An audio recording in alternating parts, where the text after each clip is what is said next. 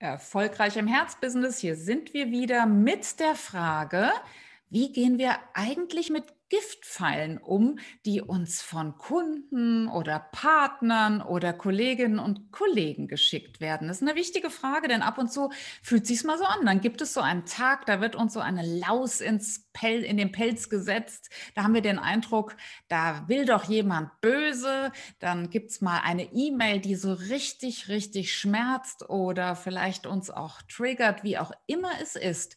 Wir würden gerne unser Konzept, wie wir mit diesen, tja, man muss ja sagen, vermeintlichen Giftpfeilen umgehen, mit dir teilen. Denn am Anfang steht erst schon mal die Erkenntnis, auf die wir uns dann sofort berufen, die Dinge geschehen nicht gegen uns, sie geschehen wirklich für uns. Und mit dieser Energie versuchen wir drauf zu gucken. Und da haben wir zwei ja, Sichtweisen, die wir uns wirklich jetzt antrainiert haben, Susi, oder?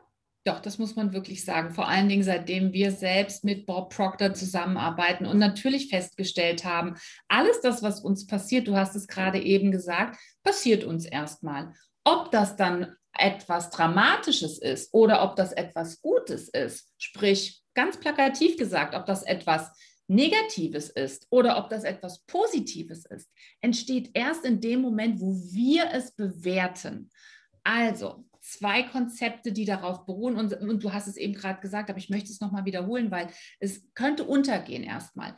Wir haben uns angewöhnt, dass von der Draufsicht, von dem Blickwinkel her betrachtet, wir erstmal dafür, davon ausgehen, dass alles, was uns passiert, zu unserem Besten passiert. Also, dass wer auch immer sich bestimmte Dinge ausdenkt, von wo auch immer bestimmte Informationen kommen, du hast es gerade gesagt, E-Mails, in welcher Form auch immer diese Botschaft zu uns kommt, das ist ja auch manchmal ganz un unterschiedlich, dass es alles letzten Endes für uns zu einem etwas Gutem gereicht. Und diese zwei Konzepte, die sich dem anschließen, das eine ist, dass wir uns angewöhnt haben, nicht zu reagieren, sondern zu antworten.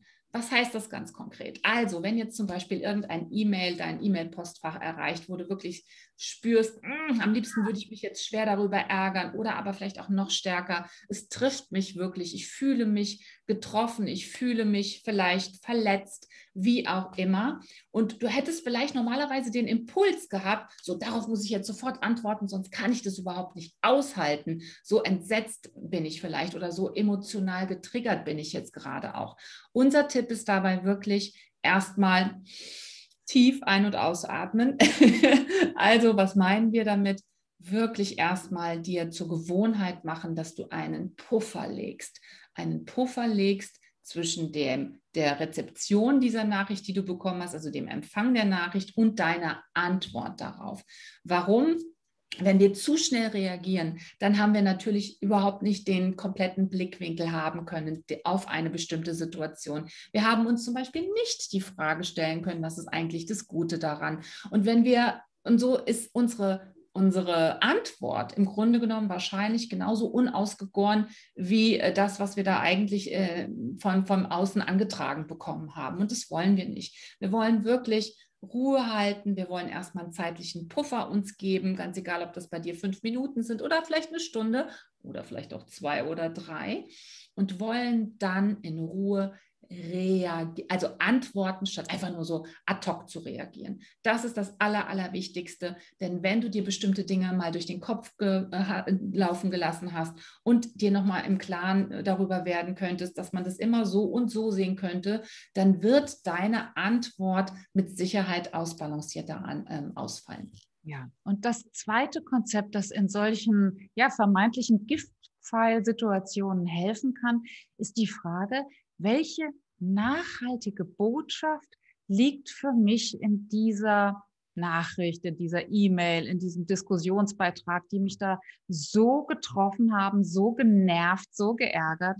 Also wenn wir intuitiv denken, Mensch, was erlauben Strunz hier eigentlich, dann können wir uns auch sagen, was erlaubt uns eigentlich diese Nachricht in unser Leben zu holen.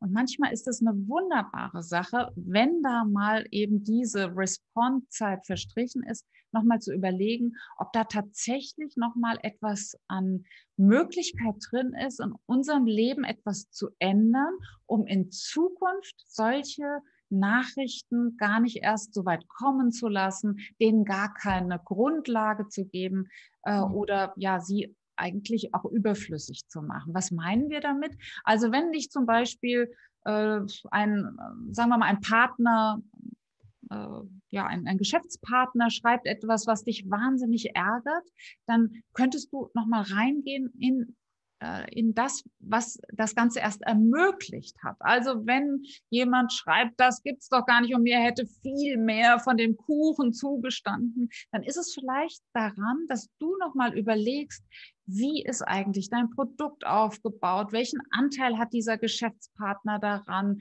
Ähm, ja, wie ist es überhaupt zu diesem ganzen Geschäft gekommen? Wer hat den Kunden angebahnt? Also will sagen, dass du nochmal für dich überlegst, was ist eigentlich wo, wo ist eigentlich deine eigene Grenze? Denn offenbar hat ja dann der Geschäftspartner auch eine, eine Grenze an einer anderen Stelle gesehen. Und wenn es dir gelingt, das für dich klar zu kriegen und in Ruhe damit zu kommen und in Übereinstimmung damit zu kommen, das vielleicht auch mal schriftlich niederzulegen, dann war diese E-Mail von dem, der da ganz viel gefordert hat und von dir noch wollte, ja, also sogar ein Riesengeschenk, weil es dir ermöglicht hat, alles mal niederzuschreiben, diese, diesen Kooperationsvertrag vielleicht in ein paar Stichpunkten auch wirklich mal zu Papier zu bringen, dass damit das nicht nur so mal zwischen Tür und Angel gesagt ist, will sagen, du bist darüber vielleicht auf eine höhere Stufe deines unternehmerischen Daseins gekommen. Es hat dir dabei geholfen, eine Struktur aufzubauen. Es hat dir vielleicht dabei geholfen, die Korrespondenz besser zu machen, klarer zu machen, Uneindeutigkeiten rauszunehmen. Und dann ist es ja wirklich ein Geschenk. Auch wenn wir uns im ersten Moment überlegen, was erlauben. Rund. genau. Also die ganze Überschrift könnte hier, glaube ich, auch lauten, wo liegt das Geschenk für uns? Wo liegt die gute Botschaft für uns? Wo liegt die Möglichkeit wieder für uns in diesem Umstand, in dem, was wir da gerade von außen serviert bekommen haben? Und wenn du das so nehmen kannst, dann kommt schon wieder mehr Ruhe in das System rein und dann wird das Ganze schon wieder positiver. Und dann kannst du vielleicht auch über den einen oder anderen Giftpfeil letzten Endes lachen. Und vielleicht wird dann auch der Giftpfeil eher in der angloamerikanischen Lesart zu einem Geschenk. What a gift. What a gift. Bis bald.